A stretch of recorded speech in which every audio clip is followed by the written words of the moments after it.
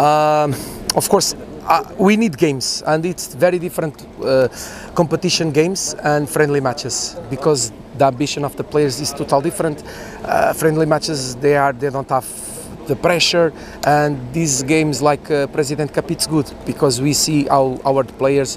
Um, make control or not make control with the, with the pressure in a good way or not because sometimes we see our players make very good trainings but after on the game the performance does not come. So this is good that we make a President Cup on Indonesia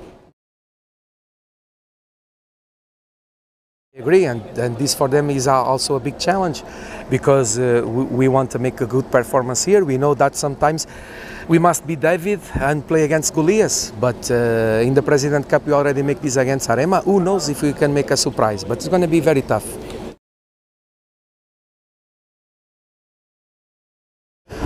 This is the dream that they have. They, they dream to, to play uh, in good competitions, and AFC, it, AFC Cup, it's a good competition. And if you have the dream now, they can they come true. You, you just need to make good performance and give hundred percent, and maybe you can make a surprise.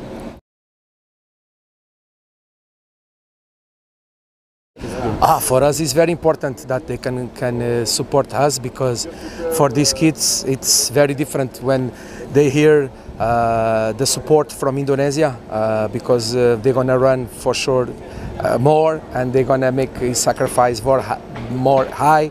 And uh, it's very different to, to play in the stadium that we don't have support and a, they do that we have support. So I, I appreciate that supporters from Indonesia come to, to, to support us because we're gonna we're gonna try to, to give our best. Terima kasih. Terima kasih. Terima kasih.